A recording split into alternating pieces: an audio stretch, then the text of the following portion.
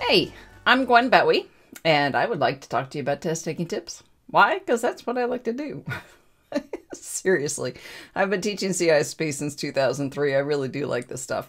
So, first test taking tip is about um, just some basic logic on how to answer questions. You can use the question to help you find the answer.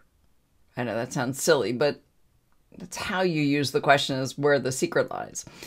The first test taking tip is what kind of question is this? So use confidentiality, integrity, and availability to analyze the question. If it's a confidentiality question, you need a confidentiality answer. If it's an integrity question, integrity answer. Availability, you need an availability answer. Sounds too simple, right? It really can help make things a little bit easier. So let's look at a very particular question, shall we? So when looking at the question, what you want to do is figure out is the question confidentiality, integrity, or availability? Then look at the answers and determine the same thing. Just based on that, you might be able to throw out one, two, or even three of the answers to help you find the best answer there is. So here's your question. The best way to ensure a database maintains the user entered values over time is, and then you've got four options. But the first question is what what type of question is this? Now, it's not a confidentiality question. That would be something like protected from privacy or confidentiality or disclosure or something like that.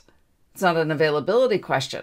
Well, maintains the user uh, almost sounds availability, but maintaining the user entered values. So, whatever they typed into the database, that's what we need to maintain over time from a security perspective, I don't care what phone number they type into a phone number field, but I do need to make sure whatever they typed in stays there, that it doesn't change over time just randomly, which databases have done on occasion over history. All right, so it is an integrity question, not availability or confidentiality. Then what we can do is look at each of the answers. Now, I like to work from D up. It's a way to trick your brain into actually paying attention. So, first one fault tolerance. Fault tolerance is making sure that it's going to be there if there's a failure, so that's an availability answer.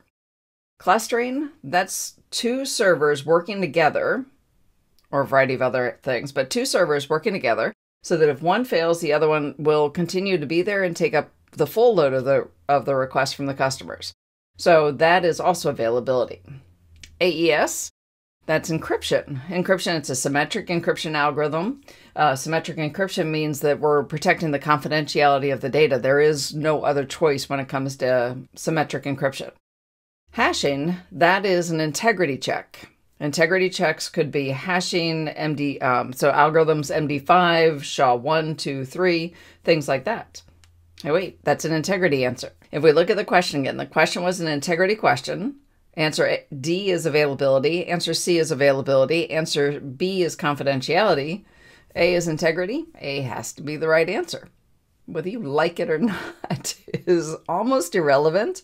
It's an integrity question. You have to have an integrity answer. So there you go. There's test taking tip number one. Come back again for more later.